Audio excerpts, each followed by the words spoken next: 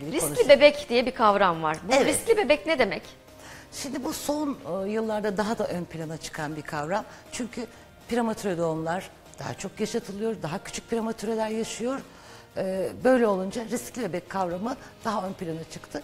Riskli bebek doğum öncesinde, doğum sırasında e, başına gelenlerden ya da farklı etmenlerden dolayı nörolojik gelişiminde risk altında olan bebek demek. Ama şimdi bu şu demek değil. Her riskli bebek işte çok işte e, nörolojik gelişimi kötü olacak diye bir şey yok. Sadece bu açıdan izlenmesi gereken bebek demek. Peki hangi bebekler diyeceksin? Yani sen?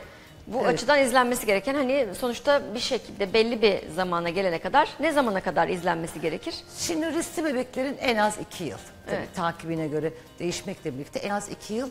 Ee, şimdi aileler belki diyecek benim bebeğim riskli mi? Heh. Değil mi? Zaten ekran başında böyle anne baba olarak bizi izleyenler bir pır pır oluyorlar böyle çocuklarına karşı. Şimdi tabii bilinen risk faktörleri var ama Neler bunlar? e, bilinmeyenler de çok var. Bazen biz işte işte şunu biliyoruz, bunu biliyoruz ama bazen de tabii sürprizlerle de, de Tabii. karşılaşabiliyoruz. Ama bilinen risk faktörlerinden en fazla şu an için gördüğümüz erken doğum. Erken doğum derken özellikle 30 haftanın altındaki prematür. Kaç ay oluyor? doğumlar.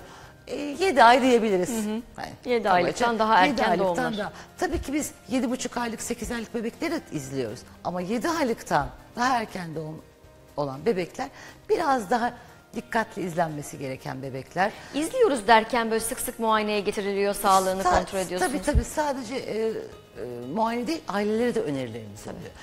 E, Erken doğum ya da yeni doğan normal zamanda doğmuştur bir çocuk ama doğum kilosu çok düşüktür. Bu da yani anne karnında yeterince beslenememiştir. E, bu da bir riskli bebek. Ya da e, annenin geçirdiği ciddi enfeksiyonlar vardır hamilelikte. Bu da riskli bir bebek. Ya da bebek doğmuştur, sağlıklıdır, her şey yolundadır ama yeni doğan döneminde yoğun bakıma yatmıştır, ciddi bir enfeksiyon geçirmiştir. Bu da riskli bebek. Yani bunların hepsine totalde riskli bebekler diyoruz. Bunları nasıl izliyoruz?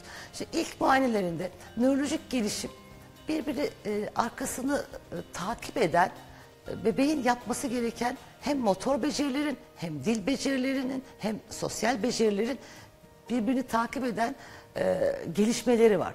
Bu gelişmelerin zamanında olup olmadığına bakıyoruz.